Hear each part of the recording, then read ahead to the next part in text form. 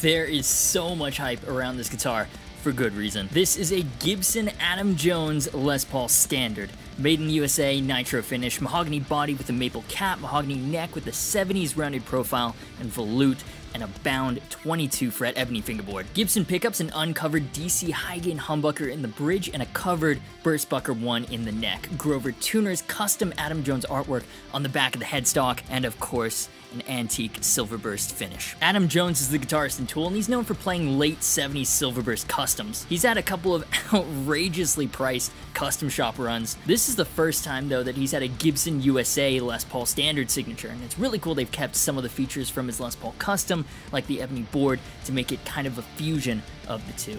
Plus, Silverburst is arguably one of the coolest colors for a Les Paul, and that's why